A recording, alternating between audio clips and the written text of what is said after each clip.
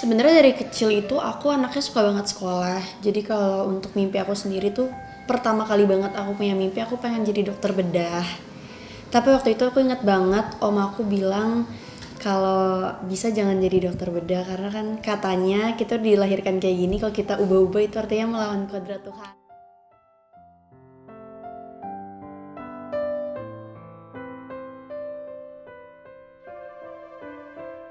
Dari kecil tuh anaknya spiritual banget. Jadi aku bener-bener dengerin om aku. Jadi aku gimana ya berusaha untuk oke okay, aku ganti mimpiku. Aku nggak mau lagi jadi itu deh gitu. Akhirnya aku berubah. Aku masuk SMP aku pengen jadi duta besar. Karena menurut aku keren banget aja jadi dubes gitu. Tapi setelah aku sekolah um, passionnya tiba-tiba hilang.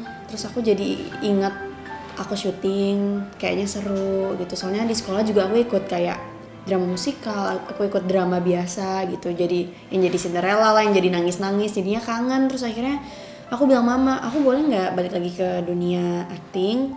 Coba acting dalam sebulan aja. Kalau emang aku enjoy berarti kan aku nemuin tuh berarti itu passion aku gitu. Akhirnya mamiku bilang oh ya udah coba aja. Akhirnya keterusan sampai sekarang malah aku nggak kuliah gara-gara syuting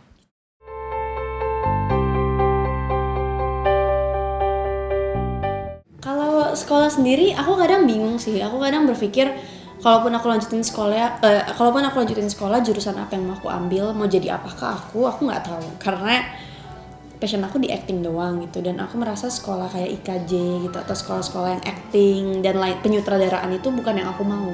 Jadi aku masih di tahap yang aku syuting acting tapi aku belum mau direct orang belum mau gimana sih biasanya artis kan ujung-ujungnya mereka mau jadi sutradara mau jadi DOP mau jadi apa segala macam. Tapi aku nggak aku belum ada pikiran itu sama sekali. Jadi aku kayaknya masih bingung sih kalau untuk lanjutin sekolah. Cuman aku punya mimpi aku pengen kuliah di Hillsong di Australia.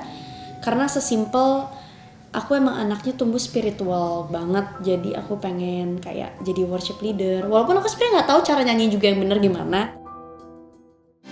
Kulihat ada yang bersinar kedua bola matamu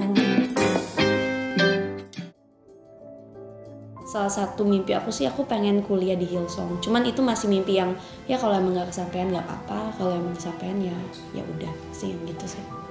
Dan aku kan tahu kalau kuliah itu kan nggak ada umur ya. Jadi kita mau setua apa pun kita masih bisa ambil kuliah gitu. Jadi aku masih berpikir oh mungkin suatu hari nanti kalau bisa sebelum punya anak aku kuliah dulu di Hillsong gitu 예 있어요. 여기 램핑 씨하고 이리나 씨하고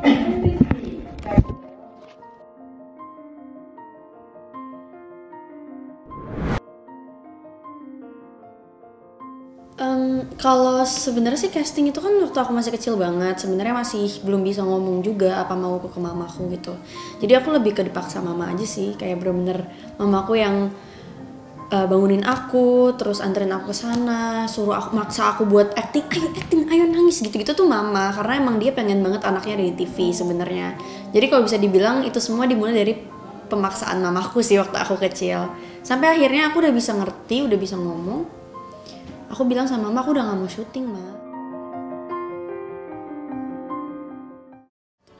Terus akhirnya gede, aku sendiri yang bilang, Ma aku boleh syuting lagi nggak? Gitu. Jadi yang benar-benar berjasa banget dari awal aku syuting eh casting sampai akhirnya aku sekarang tuh mama. Karena mamaku juga akhirnya sekarang jadi manajerku gitu.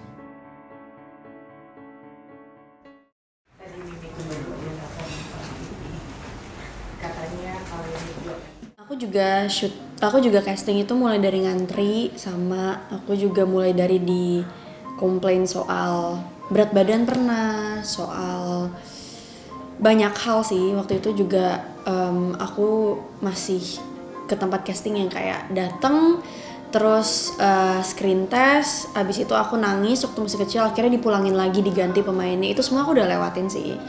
Cuman memang waktu akhirnya aku kembali pas aku udah umur 14 tahun itu karena aku sebelumnya waktu kecil udah pernah jadi lebih gampang lebih mudah. Aku bisa langsung masuk bisa langsung dapat peran gitu. Cuman emang kalau dilihat di YouTube sih jelek banget sih para actingnya. Kayak memalukan banget sih. Aku aja sendiri malu kalau lihat aku awal-awal balik ke dunia entertain